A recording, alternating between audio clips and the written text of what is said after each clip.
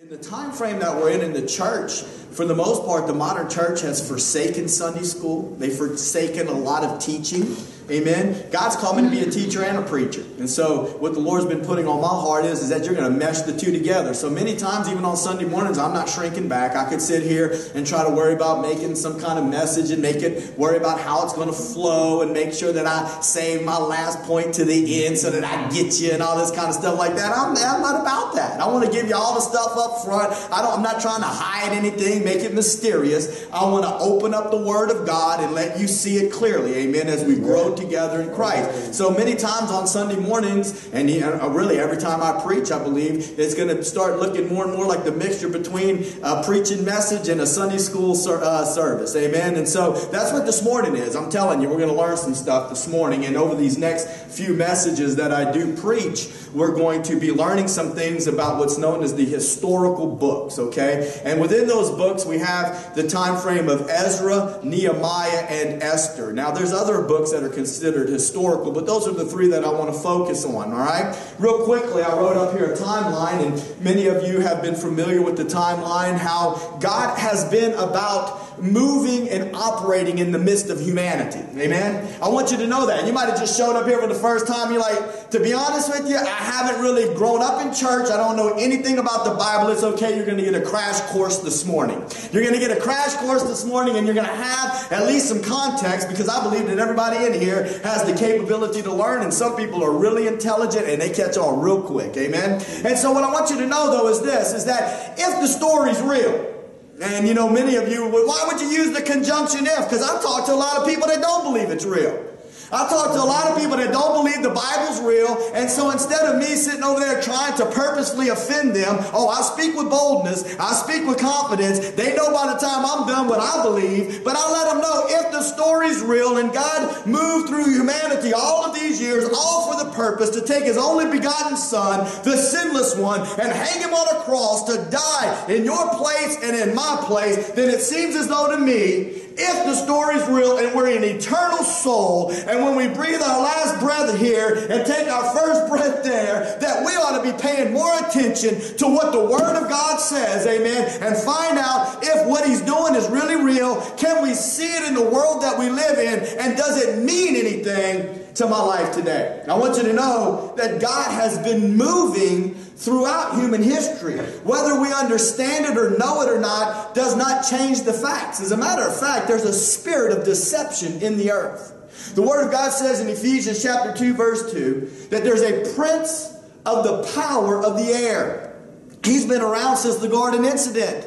He's been around since the fall took place. His spirit, in an evil fashion, is attempting to close people's eyes to the truth of God just as the Holy Spirit, in a righteous fashion, desires to open up people's eyes to the truth of God. Amen? And so what I want you to know is, is that through science, through the intellect of man, and through all of these various ways, the enemy of your soul is trying to convince you and your children and all the public system and government entities that God isn't real and he wants to move humanity away. God has been moving through humanity. See, there was a time after the fall that there was no nation called Israel. You can turn on CNN today, Fox News, whatever your flavor is. I don't really watch any of them anymore because I don't believe them. That's Amen. just me. Do what you want with that. Amen. Oh, you're not a Republican? I'm going to be honest with you, I'm not. I'm a conservative. What I believe is in smaller government. I believe in exalting God in the midst of a nation. I believe that, yes, man has a right to bear arms, and I believe that man has a right to freedom of speech, but I don't believe in politicians that say they're going to do one thing and turn around and do something different. They sign something different on a piece of paper, and they want us to be blind and act like they did what they said they were going to do, when in reality they're not. I'm telling you, there's something going on. I'm not going to tell you what it is all the time, but I'm going to lead you little hints and you can try to start figuring some of that stuff out for yourself. Mm-hmm. But what I want you to know is this, is that God has been moving in the midst of humanity. And this is what he did. He called a man named Abraham out because he had a plan to create a nation. And through that nation, he gave a promise that he would give Messiah. That's what Ballard sang on this morning. He talked about Messiah, Emmanuel, the anointed one. God called Abraham out. There was no nation called Israel. He said, Come out from your father's house. I know that I repeat this a lot, but before you're done here, if you decide to go to another church, you're going to be ready because you're going to know more than the preacher if you hang out with me long enough. What's going to happen is this is that God calls this man named Abraham out from amongst a heathen house, a heathen nation. There was no Israel. He said, Come out from your father's house, and I'm going to make you a nation. I'm going to bless those who bless you, curse those who curse you, and through your seed, all nations of the earth will be blessed. Ultimately, 2,000 years later, Jesus was born, and 65 years later, the Apostle Paul wrote a letter called to the Galatians. And in that letter, he said that the promise that was given to Abraham, when it said seed, it was singular. One seed, not many seeds as a whole nation, but one seed, and that seed was Christ. Meaning that way back 2000 BC, when God pulled Abraham out and promised to make him a nation and that he would bless all of humanity through Abraham's seed, God, in his mind and in his heart, the plan was already to give humanity Jesus. Does that make sense? Amen. So I want you to know that the God that you serve today is all knowing. This wasn't just some hiccup upon a stage that accidentally happened. This wasn't some impromptu plan, but instead God already knew, the Word of God says in 1 Peter 1.18, you were not redeemed. What does that mean? To be bought back. You were not purchased with, with silver or gold, which is corruptible, but, but instead you were purchased with the blood of the Lamb. Amen? And it was a blood that was foreordained before the foundations of the earth. Before God ever formed Adam of the clay and breathed life into his lungs, he already knew that Adam was going to fall. He already knew that he was going to send his son. Amen. And he already had a plan in place where he would bring the Messiah or the anointed one on the stage so that he could die for the sins of humanity. Amen? And so God called Abraham out, and through Abraham, he promised to make a nation. Amen? That was about 2000 BC. If you'll remember the story, a lot of things have happened, but what ends up taking place is that there's an exodus that happens. In other words, the children of Israel find themselves slaves in the land of Egypt. Okay? The children of Israel find themselves slaves in the land of Egypt. Y'all stay focused on me. It's okay. You don't have to take Vyvanse. The Lord will help you to stay focused. Amen? Praise God. You don't need that stuff. I'm telling you right now, you don't. Jesus will give you focus. God had promised that he was going to make a nation. Amen. And what ends up happening in the midst of it all is that there's a famine in the land and they find themselves in, the, in a place called Egypt, which is representative of the world, under the bondage of a man named Pharaoh, which is representative of the devil. And even the people of God today find themselves in bondages and enslaved in the system of the world. But God on Passover night told them to cut the throat of a lamb. I am sorry if you're an animal activist. God used the sacrificial system in the killing of animals and the shedding of blood to paint a picture in red. He used red paint to represent the blood of Jesus because there's a barrier that stands between sinful man and a holy God, and God wanted to make it real clear what the problem was. And that there was only one solution and one plan. And God's not offended by it because He created it. Amen? He created the animal, He created the plan, and all of those, oh Lord, help me. We got people out there that are worried about saving dolphins and saving whales, and we murder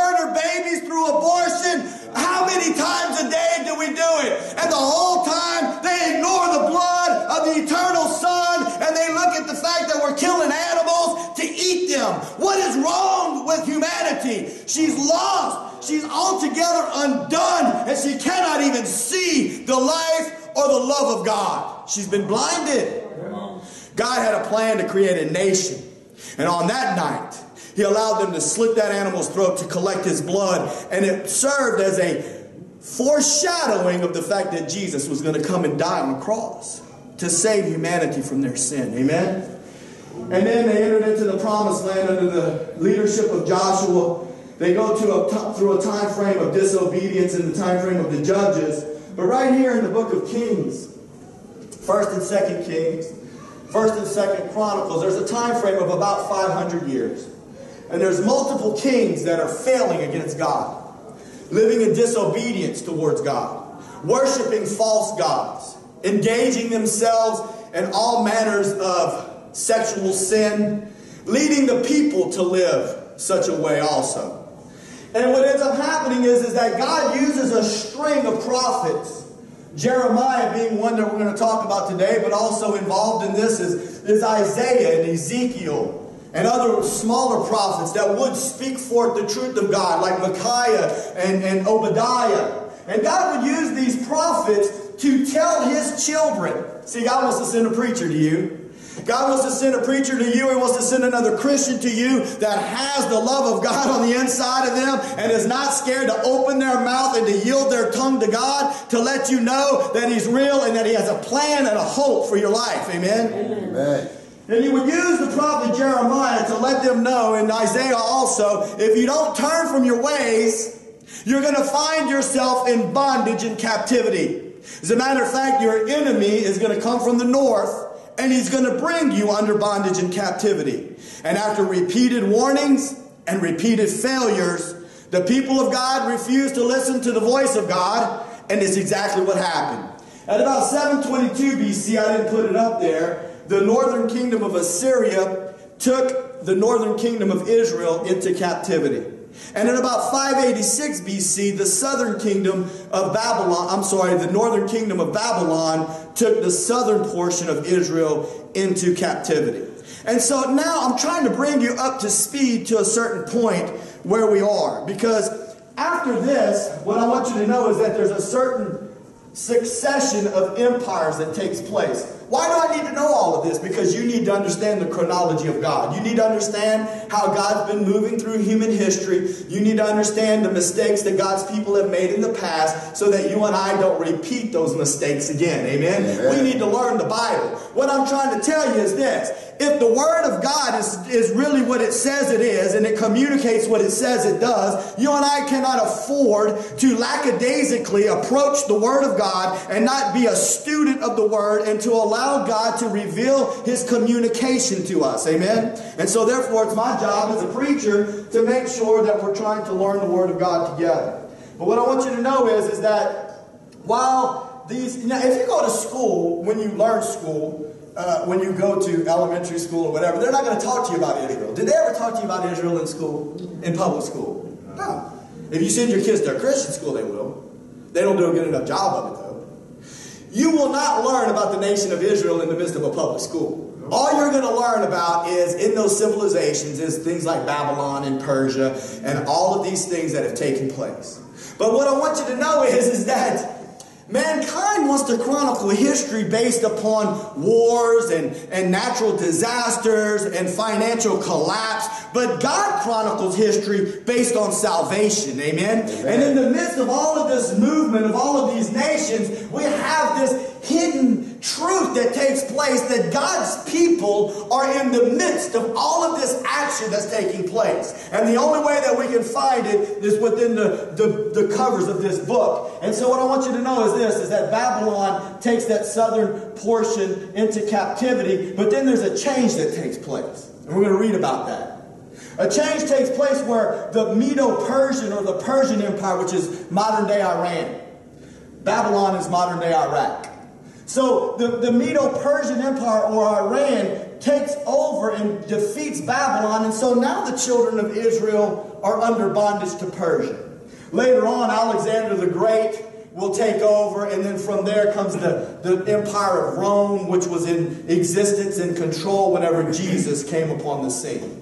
But the emphasis of what we're going to be talking about this morning is a time frame in Israel's history whenever Persia was in control, whenever they were the leading and dominating empire and Israel was under their bondage. And in the midst of that time frame, we have these three books that I want to focus on maybe over the next few times that I preach. We have the books of Ezra, Nehemiah, and Esther. And within that also this morning we're going to talk about prophecies that were spoken of by Daniel and some things that happened in the prophet Zechariah and also some things that Jeremiah spoke. Amen? All right. So what I want you to do is I want you to try to find the book of Ezra if you have your Bible. If you have a, if you have a phone app, then like one of my friends tells me you're cheating. Ha ha, but that's okay, I still cheat. But what I want you to know is, is I want you to find the book of Ezra. And the reason that I'm saying it that way is because it's an interesting thing. These three books are not in chronological order. And I just wanted to point that out to you. Because if you ever take or embark upon the adventure of reading the entire Bible, that's one thing that you may notice as you're reading is that these three books seem to be out of place, but this is where the Jewish people placed them. And so the book of Ezra comes right after Second Chronicles. First and Second Chronicles, First and Second Kings, you see, take place over here. These three books take place about 100 years later. And but yet at the same time, they take place at the same time that these books in the back happen. Not these big prophets like Ezekiel and Isaiah, but like Daniel and and uh, and Zechariah towards the back of the book. And so what's happening now in this time frame is this. Is that, see, there was also a temple here. I'm giving you a lot of information, but maybe this was stuff that nobody ever took the time to teach you. That you realize that in this time frame here at the Exodus, that the children of Israel didn't have a temple. There was something called a tabernacle, a tent. And they worshiped God in this tent. But whenever David, after King David, during the time frame of the kings, God allowed Solomon to build a temple. Amen? But what ends up happening is, is that because of their disobedience, what ends up taking place is, is that the Solomon temple is destroyed. And so during this time frame here that we're going to be talking about, Jerusalem is laid waste. Because of their disobedience, because of their refusal to hear God's word, Jerusalem, the city of peace, that's what it means. Jerusalem, salam, shalom, peace. The city of peace. Why peace? Because the presence of God lives there. How does the presence of God live there? Because there's a structure known as a temple. And within that structure known as a temple, there's a thing called the Ark of the Covenant. And within the Ark of the Covenant, there is the Word of God, the Ten Commandments. And upon there, there's a mercy seat upon which the blood is applied, the sacrifice that allows Israel to be seen as innocent. And also in front of the entranceway into the temple, there's a brazen altar, brazen, bronze, representative of judgment. And upon that altar, there's fire. And upon that fire, an animal is placed as a sacrifice. And that animal placed as a sacrifice is a foreshadowing of the cross of Jesus Christ that removes the problem of sin that stands between man and God. And so within this city and the walls contained in here is a city that's supposed to be known as peace. And I've preached this way before, but I want to remind you that within this vessel, known as your humanity, that God has placed you. There's supposed to be a city in there known as peace. God wants peace on the inside of your heart, amen. He wants peace on the inside of your life, amen. And the only way that you'll ever find peace on the inside of your heart and on the inside of your life is if you have the King of Kings and the Lord of Lords, the presence of the eternal God living and dwelling on the inside of you. And the only way that'll happen is if you allow the blood to be placed upon your heart that you receive the sacrifice of the eternal Son, the eternal Lamb. Amen? And so that's where we are in the midst of this story. And I'm going to read some scripture. We're going to read the whole first chapter. Did I tell you to go to Nehemiah or did I tell you to go to Ezra? Ezra. Good. I told you the right thing. We're going to read the whole first chapter of Ezra. And then we're going to read a small portion of Nehemiah.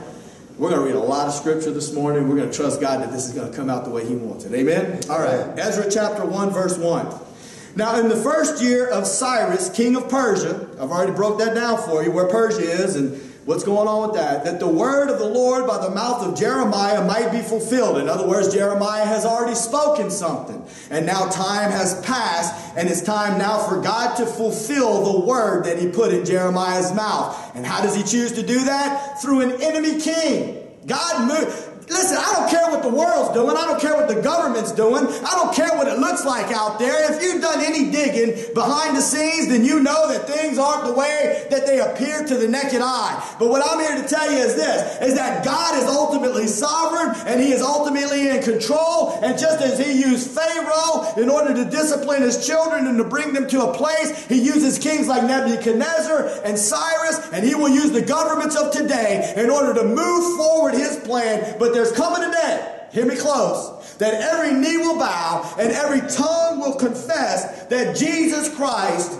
is Lord. Amen. And so God moves upon this man. It says right here that he might fulfill the words of Jeremiah. The Lord stirred up the spirit of Cyrus, king of Persia, that he made a proclamation throughout all his kingdom and put it also in writing, saying, Thus says Cyrus, king of Persia, the Lord God of heaven has given me all the kingdoms of the earth, and he has charged me to build him a house at Jerusalem, which is in Judah, who is there among you of all his people his God be with him. And let him go up to Jerusalem, which is in Judah, and build the house of the Lord God of Israel. Remember how I told you the temple was destroyed. Build the house of the Lord God of Israel. He is the God which is in Jerusalem. And whosoever remaineth in any place where he sojourns, let the men of his place help him with silver and with gold and with goods and with beasts. Beside the freewill offering for the house of God that is in Jerusalem. Then rose up the chief of the fathers of Judah and Benjamin, and the priests and the Levites with all them, whose spirit God had raised to go up to build the house of the Lord, which is in Jerusalem. And all they that were about them strengthened their hands with vessels of silver, with gold, with goods, with beasts, and with precious things. Beside all that was willingly offered. Also, Cyrus the king brought forth the vessels of the house of the Lord, which Nebuchadnezzar had brought forth out of Jerusalem. See, we're going to talk about that in a second. Whenever Babylon took over Israel, they took all of the goods that were in the temple and they brought them with them. All right? And so now Cyrus gives a, a, decree all these years later. It's time to go back and build the house of God. And I want you to take these articles with you because in order to worship God, you have to have them with you. It goes on to say, even those did Cyrus, king of Persia, bring forth by the hand of Mithredath, the treasurer, and numbered them unto Sheshbazzar, the prince of Judah. And this is the number of them 30 chargers of gold, a thousand chargers of silver, nine and twenty knives, 30 basins of gold, silver basins of a second sort, 410 and other vessels, a thousand. And all the vessels of gold and of silver were 5,000 and 400. All these did Sheshbazzar bring up with them of the captivity that were brought up from Babylon unto Jerusalem. So, what are all these things for? Knives and everything. They got to, you understand the process. They have to skin the animals, they have to cut the animals open, they have to look on the inside of the animal to make sure that there's no blemish because they could not have a blemish on the inside of the animal because it was representative of the sinless life of Jesus. And if there was a blemish in the animal, even a thousand years before Jesus showed up, that animal had to be thrown out. Another one had to be skinned and had to be cut open. It's in, I'm sorry, it just is what it is. Its intestines had to be gone through. It had to make sure that there was no cancer, there was no blemish, that there wasn't growing something growing on the left kidney. Because if it did, they needed to take that carcass and throw it out and skin another one and cut it open. Oh, it's so gruesome. So much blood littered upon the ground. Yes, because the, the sin is gruesome and it holds mankind back from a holy God. But God has a beautiful plan. Amen. Amen. He has a beautiful plan and He wants to restore you and I into His presence. And He sees the situation that we're in. And He has mercy and grace. He wants to love us through the giving of His Son. All right. Nehemiah chapter 1.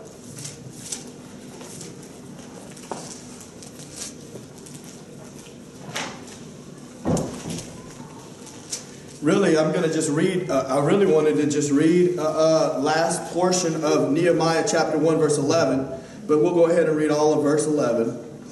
O Lord, I beseech thee, so this is Nehemiah 1, verse 11. Let now thine ear be attentive to the prayer of your servant and to the prayer of the servants who desire to fear thy name and prosper, I pray thee, thy servant this day, and grant him mercy in the sight of this man. For I was the king's cupbearer. Now, I'm not done yet, but I want to make a point. Once again, Ezra and Nehemiah are taking place about the same time. What God is on God's heart now is for his house to be rebuilt. Why? So that his presence can be back in Jerusalem, so the city can be rebuilt, so that he can bring peace to his people. God strategically places people in certain spots and in circumstances. And God has strategically placed Nehemiah in this place right here. Nehemiah says that the Lord began to show him something, and we're going to go back, we're going to flash back a little bit like Hollywood this morning. We're going to go back to it, we're going to get there.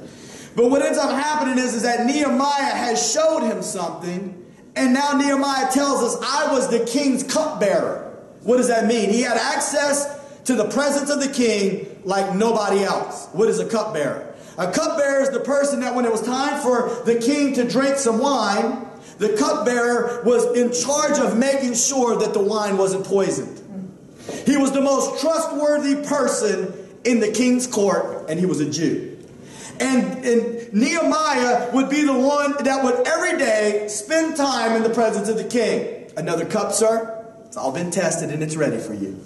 And the king had come to know Nehemiah in such a way that he understood his countenance. He understood intricate details about his personality. He knew that for the most part, Nehemiah, even though he was in the land of captivity, was a person that was full of joy. And all it took was the slightest little change in the way that he might have said a word, in the word choice that he used, in the way that his face looked when he entered into the presence. The king knew something was different. Let's go to verse 1 of chapter 2. It came to pass in the month of Nisan, in the 20th year of Artaxerxes the king, that wine was before him, and I took up the wine, and I gave it unto the king. Now I had not been before time sad in his presence. Wherefore the king said unto me, Why is the countenance sad? Seeing thou art not sick, this is nothing else but sorrow of heart. Then I was very sore afraid. And I said unto the king, Let the king live forever. Why should not my countenance be sad when the city, the place of my father's sepulchres, another word for tombs, lies waste, and the gates thereof are consumed with fire? Nehemiah has a heart that's broken because of the condition of his people. Nehemiah has been given word, and we'll go back to it and read it, that, that things are not going well in Jerusalem. That things are because of the sins of the fathers of the past, that things still lay desolate. And I'm here to tell you that I say it a lot, but the modern church is in trouble. The modern church is in trouble because they're following after the ways of people that do not want to stay true to the Word of God. They're recreating and they're repackaging the gospel in such a way to make it palatable to the people. But what the people need, they think that they're making it relevant to the people. Like it's going to apply to your life. The Lord spoke to my heart, and I know I've already told you this. My word is relevant because it's my word.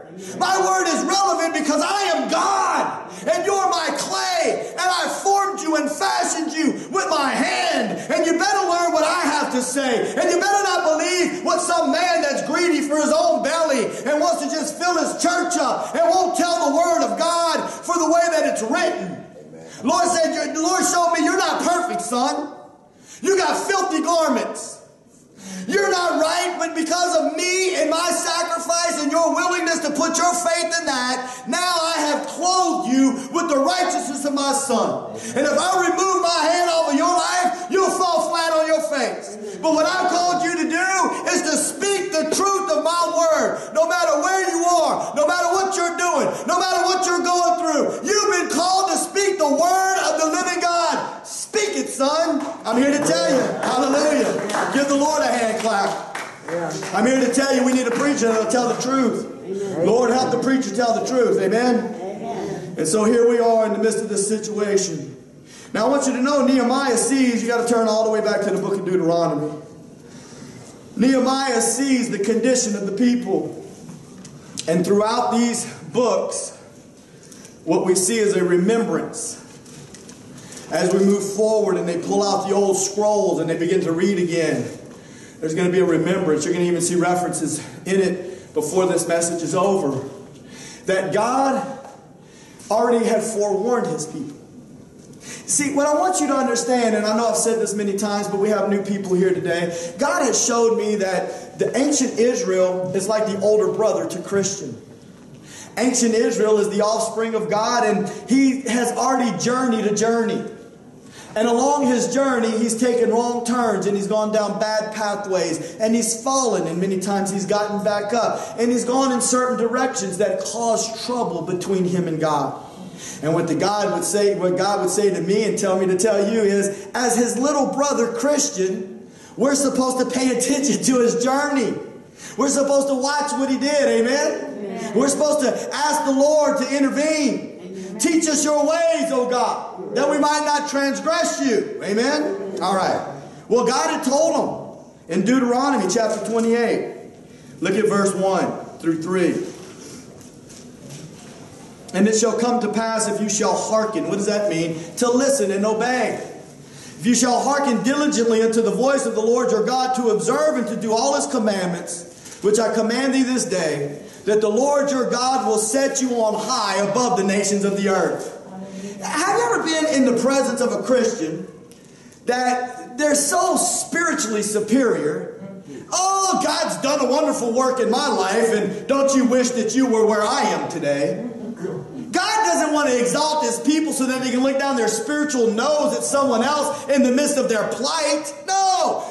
Wants to elevate his people so that the dying world around him will know that there's a real God that has a real people. Amen. Hallelujah. Help us, Lord. Help the preacher remember that. Oh, Jesus, help the preacher remember when he was in the midst of the pit. Yes.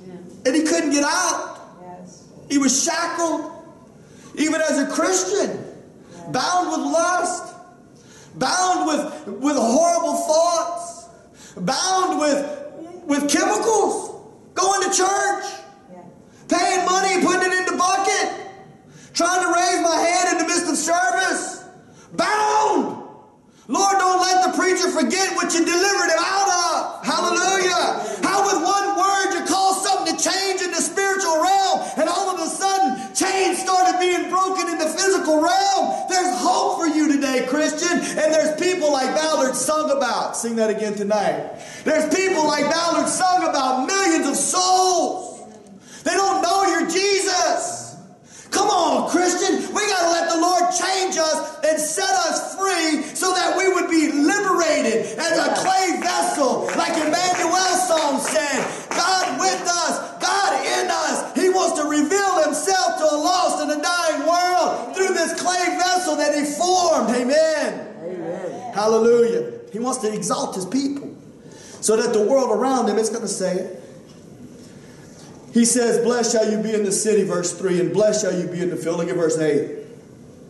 The Lord shall command the blessing upon you in your storehouses and all you set your hand on. And he shall bless you in the land which the Lord your God giveth thee.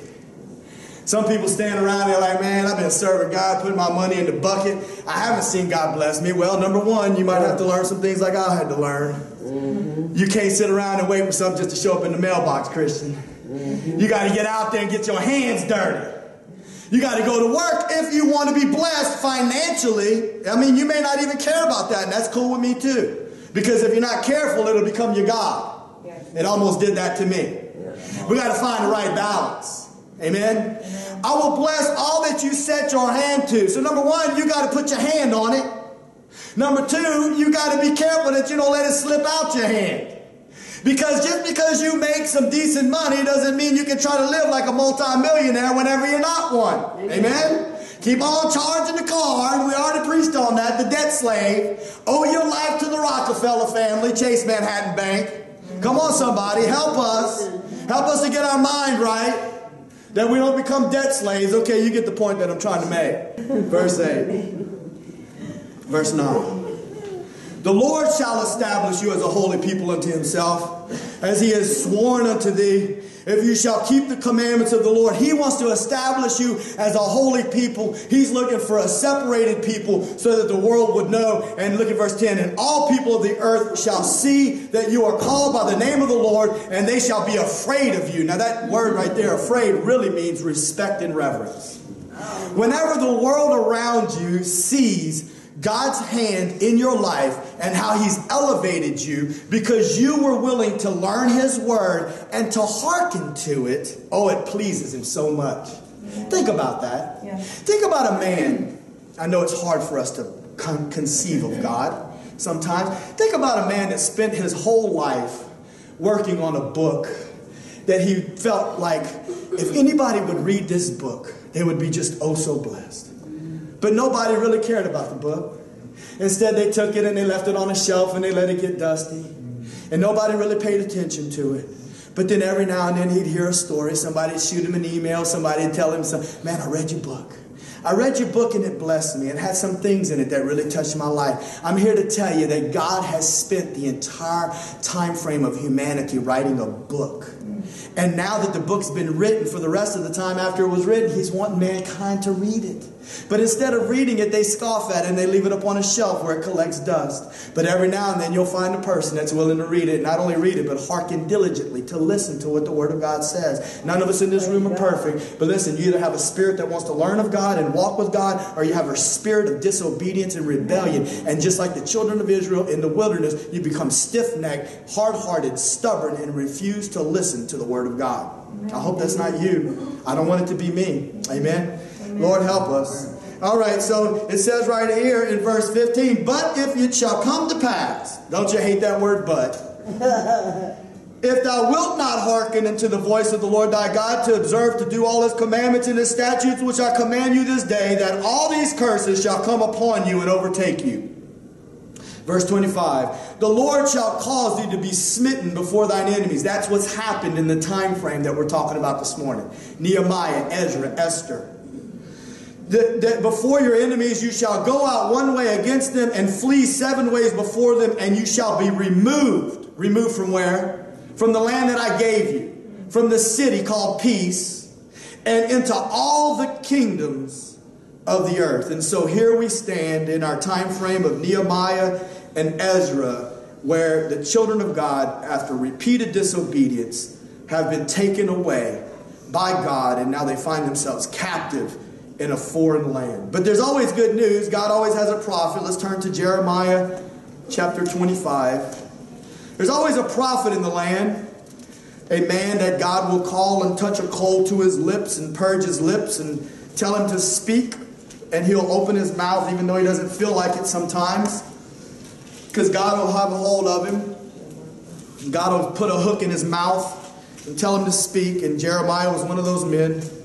And he said in verse 12 of chapter 25, It shall come to pass when 70 years are accomplished that I will punish the king of Babylon and that nation, says the Lord, for their iniquity, and the land of the Chaldeans, which is another name for the Babylonians, and will make it perpetual desolation. So God said, if you don't get your act together, the northern kingdom, which is Babylon, is going to take you into captivity. And that happened at the towards the end of Jeremiah's ministry.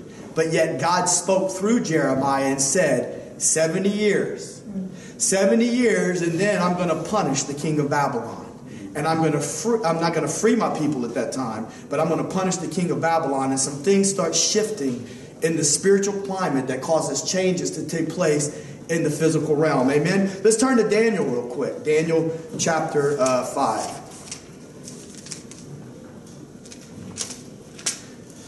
So during this time frame of Daniel chapter 5, there's a king called Belshazzar, who's actually the, the son of Nebuchadnezzar. Nebuchadnezzar was the king of Babylon whenever Israel was invaded. And you remember the story I preached a while back? I preached a couple of messages. Well, I preached that one message called When the, when the Furnace Gets Hot. And we talked about Shadrach, Meshach, and Abednego. And we talked about how Daniel and those three Hebrew boys were deported from, from Israel to Babylon and that they were the highest quality of people in the land. They were the nobility. At that point in time, Babylon left some people in the land, those that were maybe of lesser economic status or didn't have as much intelligence. The more higher level people that could really be utilized in the kingdom were brought. Remember that? We talked about how this doesn't have anything to do with the story, but it's a good point. We talked about how the, early on that the world Babylon wanted them to eat the delicacies or their nutrition, their food. And how I told you that the world wants you to eat what it's offering. It wants you to listen to its music. It wants you to watch its movies. It want you to buy into its plan. But the fact of the matter, oh, you're a law preacher. No, you don't understand what I'm trying to tell you. What I'm trying to tell you is they're trying to feed you a diet. They're purposefully trying to feed you a diet to move you away and to renew your mind no, to keep your mind the same, like you were born like Adam. They want to infiltrate your mind and make you stay the same and keep you out of this that will bring restoration and renewal to your mind. And so they want to basically brainwash you into staying the way that you were born like Adam. Nevertheless, the Hebrew boys refused to do that, mm-hmm. and later on they came to a big old trial in their life. Remember that? Mm-hmm. Daniel found himself in the midst of a lion's den. I want to tell you something that the Word of God says that your adversary, the devil, he roams around like a roaring lion seeking whom he may devour. But just as God knew how to keep that lion, those lions' mouths shut, he knows how to keep that other lion's mouth shut. And even though the enemy of your soul thinks that he's going to overcome you with the power of sin, I got good news for you. The plan of God through Jesus Christ and what He did, if you'll keep your faith in that, the grace of the Holy Spirit will shut that lion's mouth and keep him from destroying you and from tearing you apart. Amen. If you're willing to allow Him to have His way in your life. And just like them three Hebrew boys, I can't leave them out. God will allow the trials of a fiery furnace to take place in your life. Why does he do that? I don't like it when he does it. Well, I don't like it either. But guess what? It's time to quit crying. It's come, time to come to the realization of this God is sovereign and He's in control. He knows where to place you in order to purge you. The Word of God, Job said this He said, When I come forth, I will be like gold. Amen. And those boys were not hurt because Jesus was with them in the midst of the fire the whole time. Praise God. All right, so that's another story. But listen, now this is that getting Daniel's getting older now. And Belshazzar is Nebuchadnezzar's son and he had a dream. This is an interesting thing. So they're sitting here having a party. Nebuchadnezzar's dead. Belshazzar's having a party. And they got all these women, you know, dancing and doing their thing. Probably belly dancing because that's what they do over there. And they're over there having this party. And all of a sudden he gets this bright idea. He says, Go and get those artifacts from the temple uh, that we took, that my daddy took from Israel. Remember all those gold cups and all that stuff? Go get some of those and let's drink wine out of those. Because see, we got all this power, we got all this prestige, and their little old God couldn't even do nothing for them. And so they're over here having a party and they're drinking out of these gold cups that belong to the God of Israel. And all of a sudden, out of nowhere, tell me this wouldn't freak you out, a hand shows up. A hand shows up and he goes to the wall and it starts writing stuff up on the wall. Starts writing a message. And nobody really understands. Well, all of a sudden, they have to call Daniel in there. And here's where we start in Daniel chapter 5, verse 18, and it's worth reading. Daniel says, O thou king, the Most High God gave Nebuchadnezzar your father a kingdom and majesty and glory and honor. And for the majesty that he gave him, all people, nations, and languages trembled and feared before him, whom he would slew, and whom he would he kept alive, and whom he would he set up, and whom he would he put down. But when his heart was lifted up, don't let pride get in your heart, Christian, and his mind hardened in pride, he was deposed from his kingly throne, and they took his glory from him. And he was driven from the sons of men, and his heart was made like the beasts, and his dwelling was with the wild asses. They fed him with grass like an oxen. Can you imagine a man on his hands and knees eating, grazing like an oxen? His body was wet with the dew of heaven till he knew that the Most High God ruled in the kingdom of men and that he appointed over it whomsoever he will. And thou, his son, O Belshazzar, hast not humbled thine heart Though you knew all this. Oh, Lord, help us. You even knew it. And you still wouldn't humble your heart. But instead, you lifted up yourself against the Lord of heaven, and they have brought the vessels of his house before you, and you and your lords and your wives and your concubines have drunk wine in them, and thou hast praised the gods of silver and gold, of brass, iron, wood, and stone, which see not, nor hear, nor know. The God in whose hand thy breath is, and whose are all thy ways, hast thou not glorified. Then was the part of the hand sent from him, and this writing was written. And this is the writing that was written, mene, mene tekel upharsin. This is the interpretation of the thing, Mene. God has numbered your kingdom and finished it. Wow. Tekel, thou art weighed in the balances and found wanting. Peres, thy kingdom is divided and given to the Medes and the Persians. Then commanded Belshazzar, and they clothed Daniel with scarlet and put a chain of gold. You can't change it now, king. It's too late. You can put a cloth on him and a chain on his neck, but the judgment has been given. it says right here, put a gold chain on his neck and made a proclamation concerning him that he should be the third ruler in the kingdom. And that night was Belshazzar, the king of the Chaldeans, slain, and Darius the Median took the kingdom, being about threescore and two years old, meaning 62 years old. I want you to see something. Many times in your life as a child of God, you may find yourself in the midst of circumstances that there appears to be no way out. There appears to be no hope. The children of Israel find themselves under Babylonian bondage and they're just sitting there captive and they don't know how they're going to get out of their circumstance. Amen. The city is broken. The, the temple is destroyed. The Ark of the Covenant isn't where it's supposed to be. The altar of sacrifice isn't burning sacrifices. The presence of God isn't in the midst of the city. The city that's supposed to be known as peace is empty of the presence of God. There's no peace in the midst of their lives. And even many Christians find themselves in a similar circumstance that everything is chaos, everything is turmoil, and they feel as though there's no peace in the midst of their circumstance. I got to tell you, Christian, that you got to hold on. I got to tell you that you're going to have to have the heart of Nehemiah, like we're about to see in a minute, and you're going to have to come clean with the Lord, and you're going to have to take responsibility for your own actions, and you're going to have to come to the realization that it's not everybody else's fault, and that who God's trying to get a hold of is you. Amen. And whenever you're willing to come clean with Him, He's going to cause something to shift in the spiritual realm. You're going to cause a hand to show up in the midst of the world's party, in the midst of the devil's party that he's having in your life, and a little sign's going to be written on the wall, and it's going to say, No, there's a shift in the spiritual realm that's taking place, and now you're going to see some stuff start moving in the physical realm. All right, now we're actually where we need to be in the book of Ezra. Amen. That was my introduction. I promise my message will be a lot shorter than my introduction. Praise God. So, where we are in this first chapter of Ezra, if you'll remember, that the king Cyrus had given a decree. And remember what the decree was? Rebuild the temple.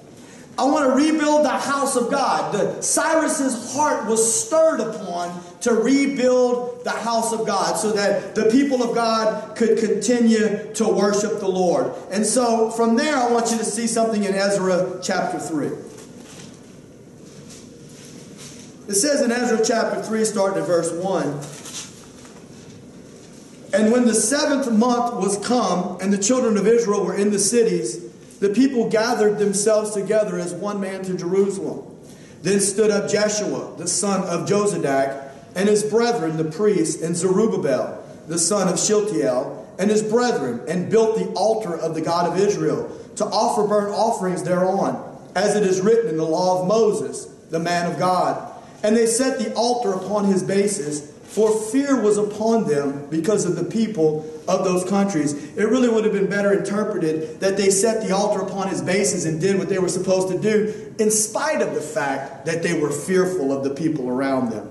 And they offered burnt offerings thereon unto the Lord, even burnt offerings morning and evening. They kept also the Feast of Tabernacles. I want to share two things with you. First of all, the altar was being reestablished in the life of God's people.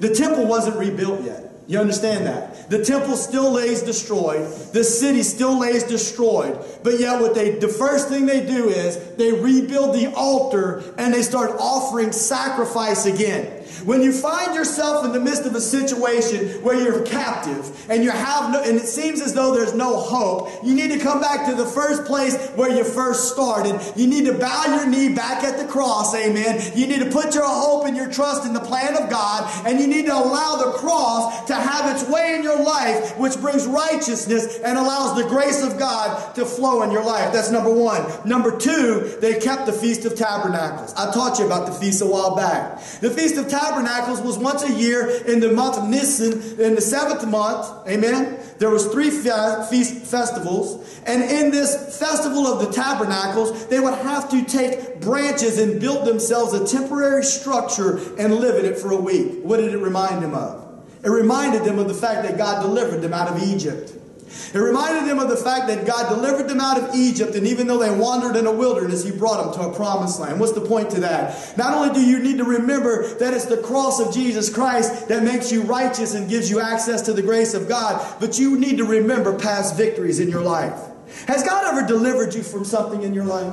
Has God ever showed up in the midst of your life? Did He ever pull you out of, a, out of the world? Did he ever do something on the inside of you and put his hope and his love on the inside of you? Can, can you remember back to what he did for you? Amen. Can you be like young David and walk with such confidence and boldness that whenever he showed up to to put that stone and sinking in Goliath's head. He already had some victories behind him. He had already killed a lion. He had already killed a bear. And now this uncircumcised Philistine was going to fall also. I don't know about you, but God's given me some victories in my life. And it gives me hope to remember that if I'll keep my eyes focused on Him, sometimes I get diverted. Lord, help me keep my eyes focused on you that there's more victories on the way. I want to encourage you with that this morning because sometimes you're going to find yourself feeling overwhelmed. Don't forget. Don't forget to put your faith back in the finished work of Christ. And don't forget that God has delivered you in the past and that there's more victories in the future. Amen. Amen. Praise you, Lord. And so, listen, they started burning these, these offerings, and I've got a picture of this. I don't know about you, but I try to see the Bible in real time. And I see all this smoke rising up in the sky. You know, there's something different. And what, what I'm trying to tell you is, is that there hadn't been any smoke up until that day they burnt that first animal. The sky was smokeless. What you got to understand is, is that there's all kind of enemies of Israel that have been in the land. I don't really have time to develop this thought, but I tried to teach it to you a while back. The Samaritans. You remember that? The Samaritan woman in the New Testament, the Good Samaritan. See, these people were half breeds. The Israelites hated them, they hated the Israelites, but it all goes back to the fall of Solomon and the Assyrian captivity. And what happened was, was that they allowed people to live in this place of Israel and they interbred with people of other religions and they weren't really following the true God. Oh, they said that they were. They had a portion of him. Oh, this is about to get good. They had a portion of him in the midst of their theology, but it wasn't the real God. They weren't really serving him. And all of a sudden, the sky's been smokeless for at least 70 years, if not more. And now all of a sudden, smoke's up in the air. It's like, what's going on here? They've reestablished the altar. They got smoke up in the air. Look what it says in chapter 4, verse 1 of Ezra. Now, when the adversaries of Judah and Benjamin heard that the children of the captivity built, were building the temple unto the Lord God of Israel, then they came to Zerubbabel, who was the governor, and to the chief of the fathers and said unto him, he was also in the lineage of Jesus, by the way, and to the chief of the fathers and said unto them, Let us build with you, for we seek your God as you do, and we do sacrifice unto him since the days of Esarhaddon of Assur, which brought us up here, you liar. You do not offer sacrifice to the same God. You got a little bit of his theology in the midst of your theology, but you are not truly serving the God. Look what they tell him. Verse 3. But Zerubbabel and Jeshua and the rest of the chief of the fathers of Israel said unto them, You have nothing to do with us to build a house unto our God, but we ourselves together will build unto the Lord God of Israel, as King Cyrus, the king of Persia, has commanded us. Verse 4 Then the people of the land weakened the hands of the people of Judah and troubled them in the building. Came first and wanted to infiltrate. Robert and I read an, uh, a prophecy a long time ago that was written in the 70s, and it said, In the end days, they're going to have just enough truth in the midst of their message to draw people in. And then whenever they got people in, they're going to start showing their real colors. And it's going to be a counterfeit theology. And I'm telling you, this is the time. We're in the midst of it now. These people right here are saying we serve the same God. We have the same sacrifice. I'm telling you that there's people that are preaching today and the natural, the normal ear of the Christian can't hear the difference. But I've talked to pastors before. I'm just telling you. I'm not picking on anybody, I'm just telling you the truth. I've talked to pastors before, and I tried to explain to them about the message of the cross or the sacrifice. He said, I got a problem with a certain ministry. They keep saying that these people don't preach the cross, but all I hear coming out of other people's mouths is they say the word cross. And I said, dude, don't you understand? That people can say the word cross 15 times and not preach the cross? And what I mean by that is this is that it's not just about you making it to heaven, the cross. It's about the fact that Jesus broke the back of sin at the cross. It's about through the cross, Jesus provided righteousness for you. It's about through the cross, you can't earn anything with God. It's about because of the cross, you don't have a church that's just filled with programs to keep people busy and build a social network. It's because of the truth of the message of Jesus Christ and Him crucified that you learn the gospel and you let it reach on the inside of you and you let the truth be in you so that you can allow it to come out of you. Amen. Amen. So there we go in verse 4. But look at this. It says in um, verse 17, and then sent the king an answer unto Rehum the chancellor and to Shimshai the scribe. This is Ezra chapter 4, verse 17. And to the rest of their companions that dwell in Samaria, and unto the rest of the, the rest beyond the river, peace, and at such a time. They brought a letter these same people that tried to come and say, hey, we serve the same God, can we hang out with you? Whenever they were told no, what they did, they wrote a letter to the king to try to influence him. See, the edict has already gone forth. What happened? Cyrus said, go rebuild the house. Now we got a new king, and now these guys want to come in and they want to cause trouble. Just bear with me. This morning's a long message, but we're getting close to the end. All right? He says, and, and it says, the letter which you sent, now this is the king talking, the letter which you sent unto us has been plainly read before me. And I commanded and search has been made, and it is found that this city of old time, talking about Jerusalem, has made insurrection against kings, and that rebellion and sedition have been made therein, which you said was true in the letter. There have been mighty kings also over Jerusalem. Who who's he talking about? David. And which have ruled over all countries beyond the river, and toll, tribute, and custom was paid unto them. Now this king's getting scared. These people might rise up again and get powerful. Give ye now commandment to cause these men to cease, and that this city not be built, until another commandment shall be given from me. Take heed now that you fail not to do this. Why should damage grow to the hurt of the kings? Now, when the copy of King Artaxerxes' letter was read before Rehum and Shimshai the scribe and their companions, they went up in haste to Jerusalem unto the Jews, and they made them to cease by force and power. One of the main things that I wanted to share with you on that right there as you turn to chapter 6 is this is that if you think the devil's going to give up, you're wrong. Just as soon as you feel like you got a break in your life, I'm telling you right now, as soon as you think you got a break in your life, the enemy's going to show up and he's going to turn up the heat. I'm just telling you, get comfortable in the midst of that chaos. Because listen, keep your eyes focused on Jesus. When you connect yourself to the real Jesus and the real gospel, I'm telling you, there's going to be there's going to be an adversary that's going to come against you and try to frustrate you. But listen, hold on to Jesus because he'll give you peace even in the midst of that. You know how you know when you're in God's will? I was sitting in a church one time and the preacher said, if you're getting beat up, then you know you're in God's will. And that's a lie. Hmm. When he said it, I knew it was wrong. Let me tell you why, because I was looking at pornography. Hmm. Can I, is it okay if I get real with you? As a Christian, somebody paying tithes, I was looking at pornography. I was bound by lust. I was sitting in the back of that church and he said, if you got some bad stuff going on in your life, then you must be doing something for God. I'm like, he can't be telling the truth because I'm not supposed to be doing what I'm doing. The difference between, there may be some stuff going on in your life, but you know how when you're in the will of God, even though there's stuff going on in your life, chaos, you got peace in the midst of your life. And I can assure you that Max sitting in the back of that church that morning didn't have no peace in his life. There was all kind of chaos going on, all kind of confusion, all kind of misery taking place, but there was no peace. But I got good news. It doesn't matter what's going on in your life. If the Lord's in the midst of it and you're doing what he's asked you to do, you can have peace in the midst of your life. Have you ever felt the lack of peace and then all of a sudden it shows up? That's a good thing. It's okay if I share with you the truth, right? It's okay if I use myself as an example of somebody that was struggling in faith. Okay, Mom. The Lord set me free. Praise God. Hallelujah.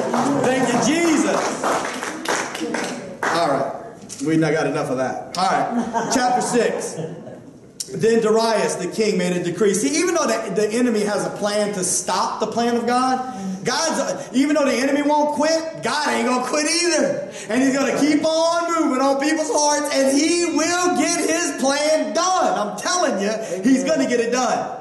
It says, Then Darius the king made a decree, and search was made in the house of the rolls. In other words, go to the house where they keep all the scrolls and go get me this one particular one. How did they figure out? I mean, you, this is a library.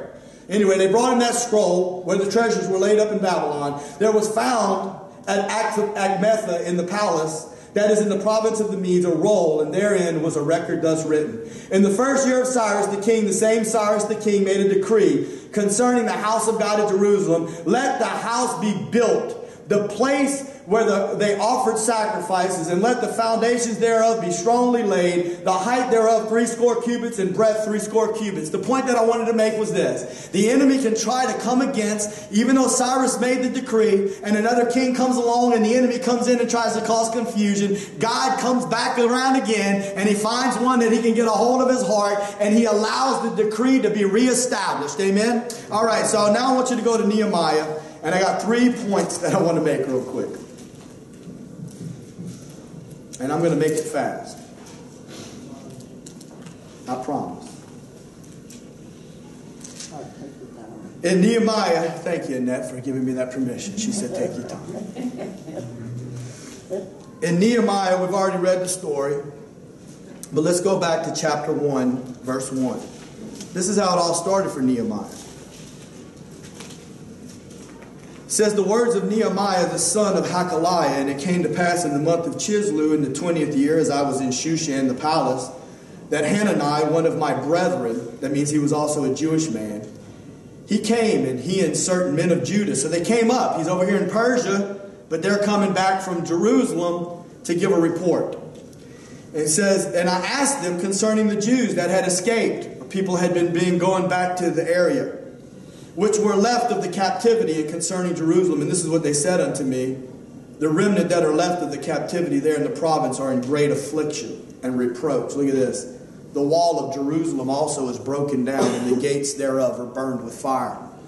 I want you to know that Nehemiah, we've already traveled this course is brought back to Deuteronomy 28. And he remembers how God had promised that if they would just listen to the voice of God, that God would bless them, but that if they didn't, that there would be a curse of captivity. And now he hears the story of what sin can do as far as destruction in the life of the believer. You know, many times whenever we hear the preacher talk about sin, in the life and how it can bring destruction and how it can cause pain. it's like we hear it by the hearing of the ear, but it's difficult for us to really see it. I want you to see something in chapter 2, verse 13, and this is my first point.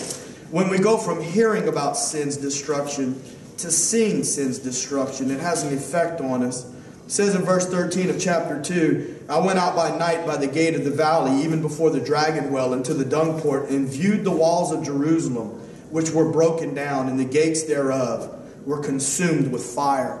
I want you to know that Nehemiah at that point he saw it, amen. He saw the destruction with his own eyes. And I can only imagine the, the, the pain and the difficulty that it caused him to realize what was, what was taking place and how the people of God had transgressed God. And I want you to know that there's a passage in the New Testament in Romans 6 16. It says, Know ye not that to whom you yield yourselves servants to obey, his servants you are to whom you obey whether of sin unto death or of obedience unto righteousness. You got to be careful who you yield yourself to serve. You can become a slave. Just as Israel had become slaves or servants in a foreign land. What I want you to know about that is this, this word know ye not. The word is eido. And it's where we get our word eye from or sight. And the word has connected to it two thoughts. Number one, to be able to see, but number two, to know. It describes perception. See, many times I can sit here and tell you that sin will destroy your life. But the truth of the matter is, is that if you haven't traveled that journey, if you haven't been in bondage like I've been in bondage, if you haven't seen the freedom that the Lord would liberate you with, it's a little bit difficult for you to see it. But let you take a wrong turn, let you travel down a pathway. See, sometimes those pathways aren't bad. It's not God's perfect will for our lives, but it allows us to come to a place of clarity. When we go from just hearing about the destruction of sin to where we go to seeing about what it'll do in your life and the destruction that it'll have. And here Nehemiah sees it with his own eyes. The walls are broken down, the gates are burned. When you have walls broken down on a city, it gives the enemy free reign in the midst of the life. It's representative of the New Testament thought that God has pulled his hand back. That's a scary place to be. You don't want to be in a place where God has pulled his hand back and the sinful nature has regained dominion in your life because it's a scary place to be. Amen. Amen. Amen. Lord, help us. So that was point number one when you go from hearing to seeing about, about what sin will do. Point number two, chapter 2, verse 10. It says, When Sanballat the Horonite and Tobiah when Sanballat the Horonite and Tobiah the servant, the Ammonite, heard of it, heard of what? Heard that, that now this king that Nehemiah talked to told him, go back and rebuild the walls, part of the city, provide protection so the temple can be rebuilt, so the altar can be reestablished. Amen. And so now a new king in Nehemiah's time is telling them, yes, we need to continue this work. All right? And it says right here that when these guys heard of it, Sanballat and Tobiah, heard of it, it grieved them exceedingly that there was come a man to seek the welfare of the children of Israel. And it goes on to say, if you, um, it goes on to say later on that they ridiculed them and that they laughed them to scorn. But one of the points that I thought was interesting, I looked up these guys' names. The name Tobiah actually means Jehovah is strength. And so once again, we have a counterfeit. You understand what I'm saying? Just like those guys in the book of Ezra that said, We want to sacrifice to your God. We serve the same God. This guy's name means Jehovah is strength, but he's not really serving the same God that the Israelites are. And they're really in opposition to the plan of God. And I just want to encourage you don't think that everything that calls itself Christian or says the word Christ or says the word Jesus or says the word cross is preaching the truth. You better learn for yourself what the word of God says so that you can recognize it. That was point number two. Whenever you start to reestablish the plan or the work of God and you start preaching the truth and you start telling people and trying to trying to allow something to happen where people can receive the truth again and, and, and connect themselves to the sacrifice and connect themselves to the presence of God, you can expect opposition. I'm telling you, it's coming. Point number three, and I'm closing. In chapter 3, 24 times, look at verse 4. Look at verse 4 of chapter 3. It says, Next unto them. And then later on in that verse, next unto them. Look at verse 5 in the beginning. Next unto them. Verse 7. Next unto them, repaired. 24 times it kept saying that. Next unto them. After him. Next unto them. What is it describing? It's describing a line of people on the wall. It's describing all the people of God on the wall rebuilding the wall. Next unto them next unto them. And they're all in unity. And they're all of one purpose. And you know, the Lord put it on my heart to remind you that there's strength in unity when the people of God come together for a common purpose. Amen. I'm here to tell you that we're not talking about building a church once again that's based upon a bunch of programs. I've seen that happen before. Amen. I've heard it preached that way before. That we all just get involved. No, we're about this. This church sits distinct. I'm not going to sit here and try to pretend to you that we're the only people that are preaching the gospel. I know better than that. I understand that. But listen to me. This church sits in a in a little bit of a of a, a situation that's different than things that are going on for the most part in the modern church. And what I mean by that is this. There's a spirit that's moving churches to worry about building a social network and making people happy in that sense. And what this church is about is preaching the truth of Jesus Christ and Him crucified, amen, and building disciples that will allow the Lord to live in them and live through them. That's what's different about what we're doing and what we're going to continue to do. And I want to encourage you as I close to remember that to remember that we hope that people will partner with us as we do that. And that we'll be in unity. And that we'll work next to them, after Him, next to them. As we build something for the Lord, it's not building it for a man. We're building something for the Lord where people can come to hear a gospel. And let me tell you what the Lord put on my heart to tell you a gospel where you learn how to get a hold of Jesus. Amen. I, you, you, know good and well I've given most of y'all my phone numbers and I'll call you back when I can. Sometimes I can't. I'll text you back answers to scriptures as much as I can. But listen to me, sometimes a pastor can't do it. What? And you don't need a pastor. You need a Jesus. Amen. Come on, somebody. You need a Jesus. Amen. You need to know how to get a hold of it. Yeah. And we need some disciples in this church that'll learn the gospel and can speak it out of their own mouths to tell people. Amen. A friend, amen, and somebody that'll speak the truth to you. Yeah. That'll tell you what you need to hear, amen.